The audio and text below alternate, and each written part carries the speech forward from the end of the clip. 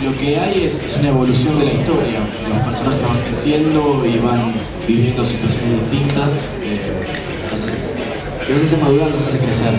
Temas nuevos, hay coreos nuevas, hay versiones nuevas. Tenemos bueno, un invitado muy especial. Tenemos una agenda bastante apretada. eh, mañana vamos a hacer el ensayo general en el estadio.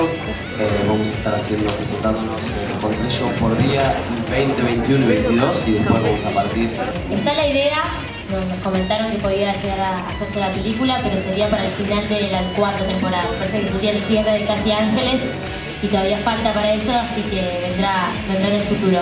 También tenemos, bueno, grupos de fans que nos van a ver al estudio, que nos acompañan en, el teatro, en, el día a día, digamos. Pero yo creo que cuando venimos acá, como es una sorpresa para ellos y, y no nos ven muy seguido, no nos ven todos los días acá por la calle, lo que sea, es como que nos reciben con mucho más énfasis y con más alegría, digamos, y euforia. Y lo que me parece más impresionante es que canten las canciones, sentir que estás como en el Rex porque se saben las canciones del principio al final y me pareció impresionante eso.